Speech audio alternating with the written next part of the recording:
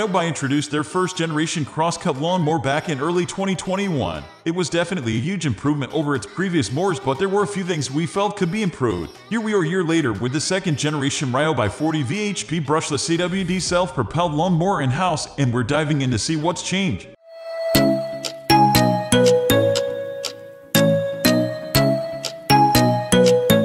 Like we've seen in previous models, the Ryobi Crosscut Lawnmower features a stacked blade system. This configuration provides improved cutting performance and mulching capabilities over a traditional single blade mower. We lowered the deck to 2.5 inches and ran it through some baguette grass, taking off about 3 to 4 inches with every pass. Considering the performance of the previous model, we were surprised when the brushless motor didn't have any trouble and continued to eject clippings with ease throughout our testing. From there, we set the deck all the way down and hit some thicker St. Augustine. As we experienced with the last version, the mower just kept on trucking and didn't stop. It's clear to us that Ryobi packed enough power in this mower to easily replace gas mowers.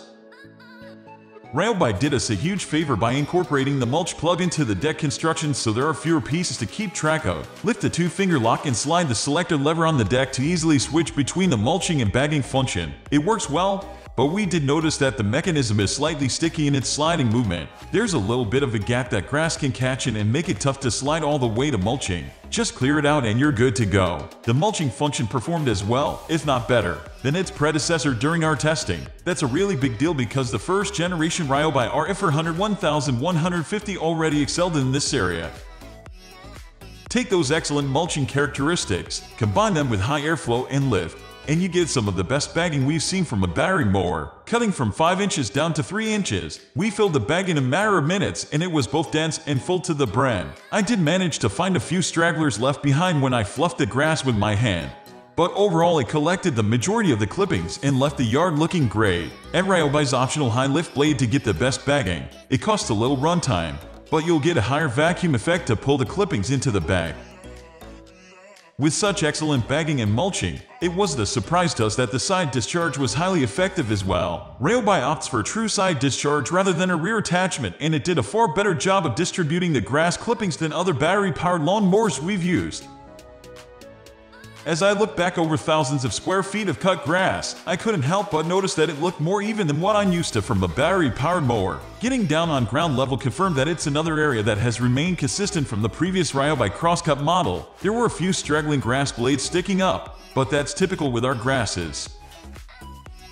Ryobi tells us to expect up to 70 minutes of continuous runtime from this mower. We tested those claims on our lawn on a medium cut with dry conditions, using the two 6.0 Ah batteries in the kit. We ran for 59 minutes and 1 second. In optimal conditions, Ryobi's 3-4 acre estimate is achievable. An external LED fuel gauge sits on the rear of the deck and shows the approximate runtime remaining on the battery that's active. Note that you have to flip the key around when your first battery is used up. There's no automatic switchover on this model.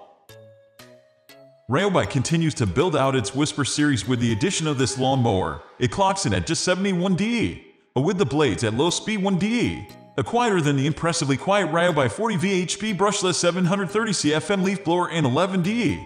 A lower than the first gen cross-cut mower. This low noise level makes it a great option for folks who live in areas with noise restrictions or in densely populated neighborhoods where excessive noise is unappreciated.